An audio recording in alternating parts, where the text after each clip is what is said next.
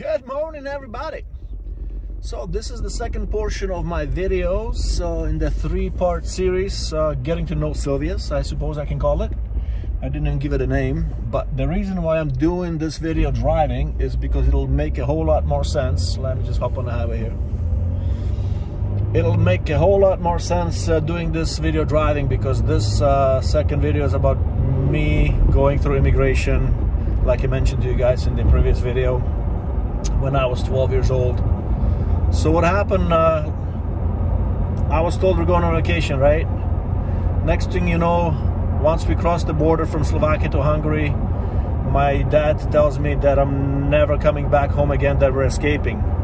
Of course, I'm kind of confused, not sure what to think about it. But uh, it was an interesting, interesting time in my life. And as a 12 year old kid, to go through what I just, I'm about to go through, right? It was uh, definitely I wouldn't say scary because I didn't feel scared because I was kind of excited that we're going on vacation. But uh, when my dad told me what he had to go through to get us out of Slovakia or former Czechoslovakia, it was unbelievable because he immigrated in 86 and he was actually in Germany and he uh, he was uh, he was ready to have his own freedom but he knew that if he left me and my brother behind, he would feel probably guilty for the rest of his life. And at the same time, he wanted us to have a better future than whatever was offered back there, back then. So he came back for us. He actually ended up going to jail because uh, when he came back, obviously they put him to jail because he uh, immigrated, right? He escaped before. Everybody was making fun of him everybody thought he was absolutely crazy because he, he was basically free and uh, he came back and they locked him up.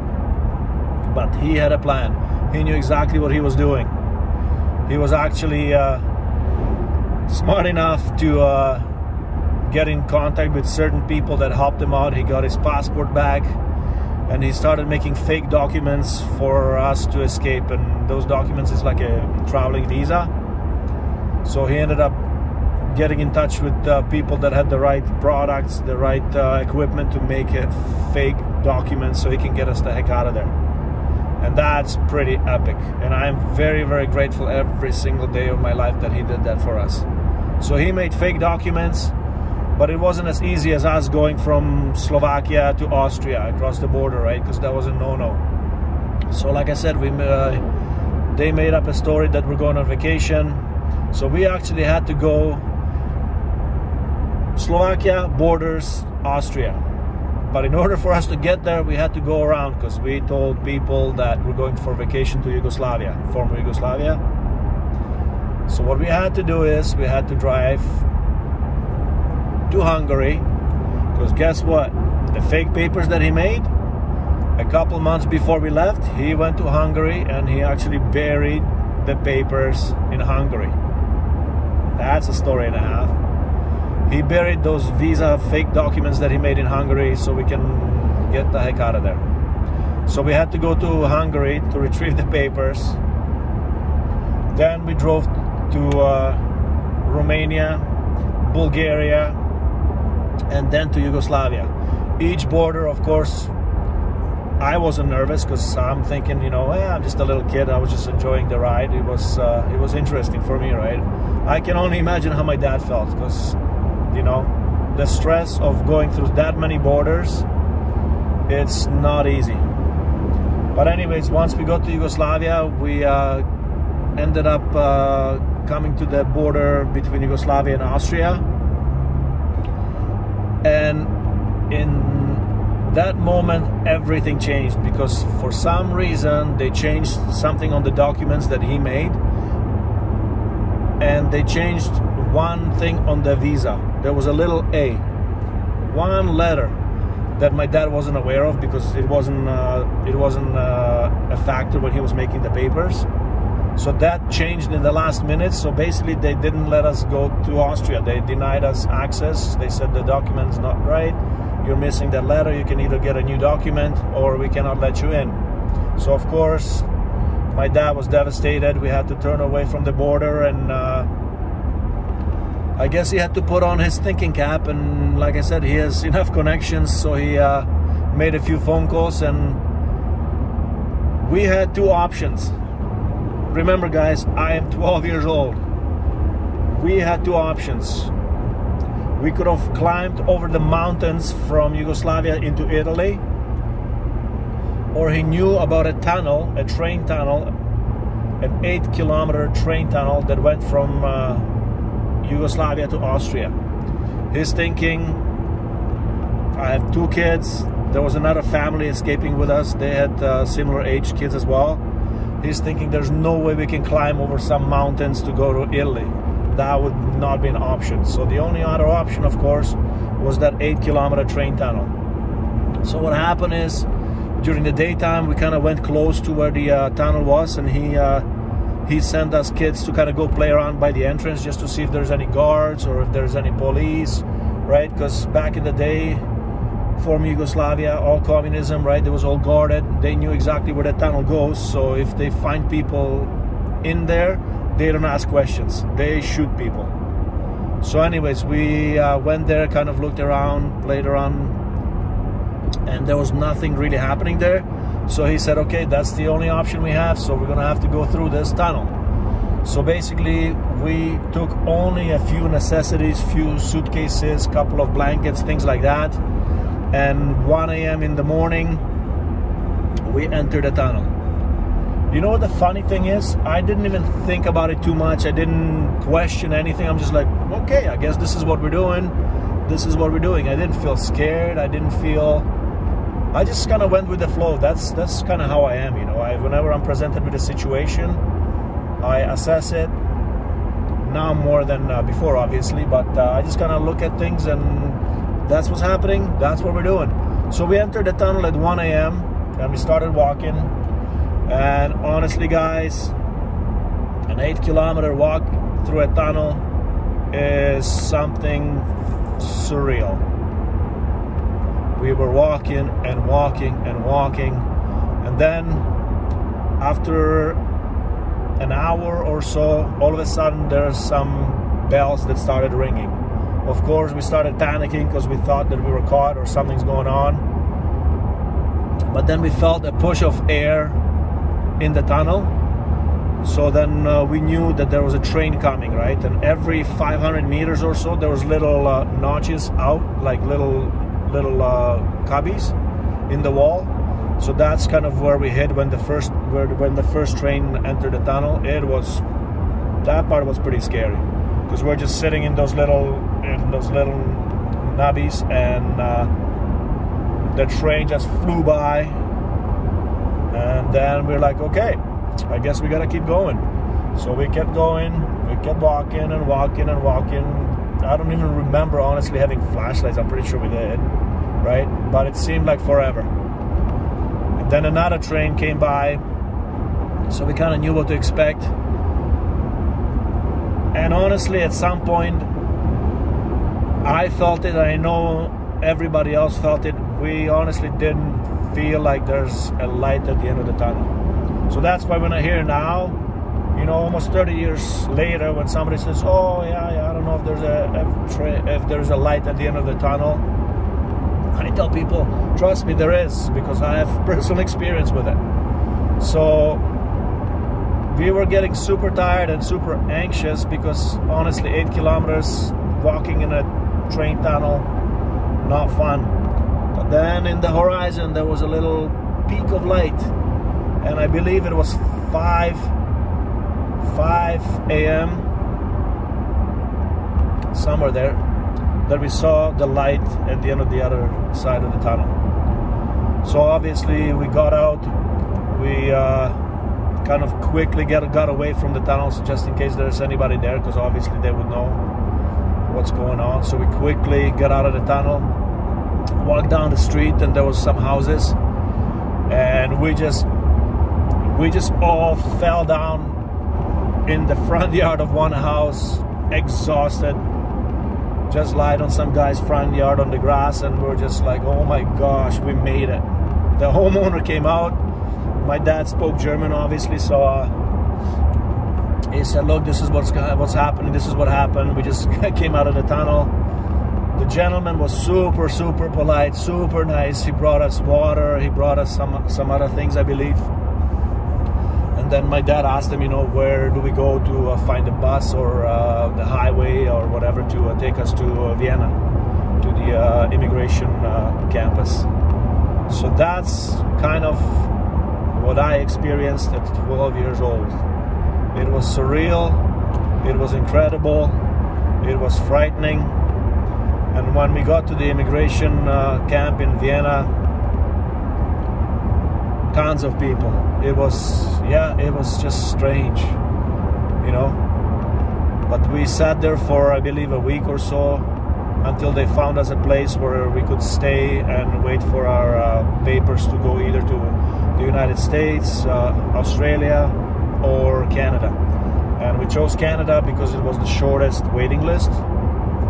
So once they found us a place, we ended up going on a bus and then they put us basically in like a it was in a in a home right? There were there were certain people that were helping immigrants. They stayed in their homes.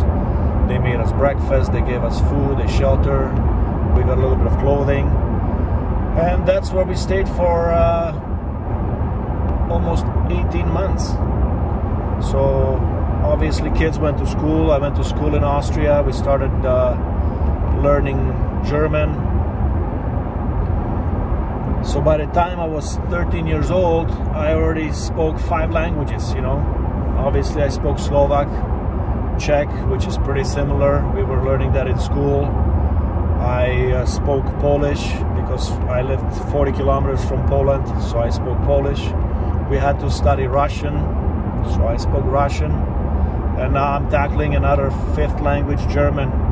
So it was interesting, but as kids, you learn pretty quick, right? So we went to school it was pretty awesome. At times it was funny because obviously you know we were made fun of and bullied because we're immigrants and ha ha ha this and that. Just like always it always existed and always will unfortunately.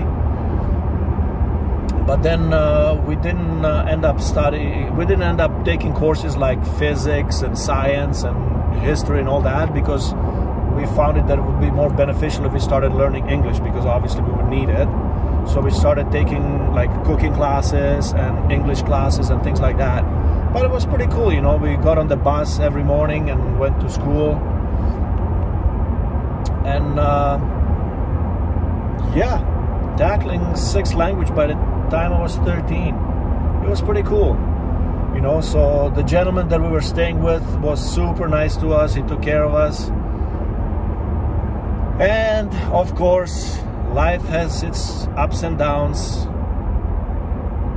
The gentleman we were staying with ended up having a heart attack. I remember to this day because I actually I actually saw him die in my father's arms. It was something unbelievable, you know. Life is freaking short. You never know. It was weird, you know. Seeing uh, seeing the guy that took care of us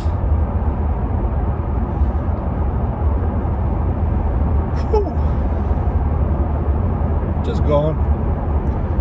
Anyways, we had to find another place to uh, stay because our papers obviously weren't ready. We were not ready to uh, go to Canada, so we had to go through uh, losing a friend. I don't even remember if we went to the funeral or not. I honestly don't remember that. But then we had to move to another city and we had to stay at another place to wait until we're ready to go to Canada. All this happened while I'm 12 years old. Not easy on a kid. But we met some interesting people. We met some new friends, and we uh, were waiting until we got the papers to go to Canada.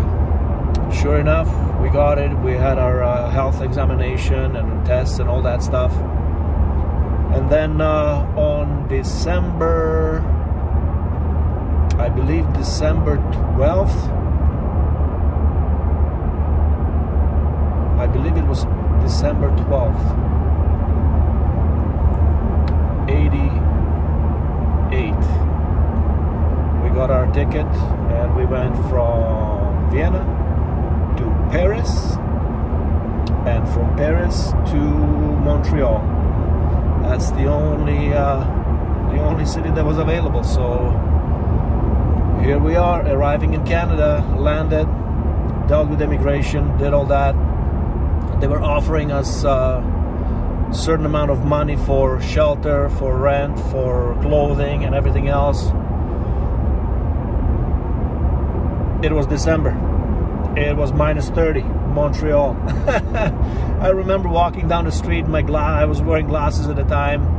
I had icicles coming from my glasses, you know, and uh, we were looking for an apartment to live to start uh, to start our lives in Canada, and we found an apartment that was no joke. It was five dollars more than what we were allowed from the government.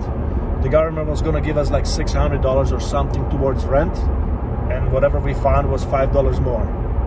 So they're like, no, we cannot do this for you, this and that.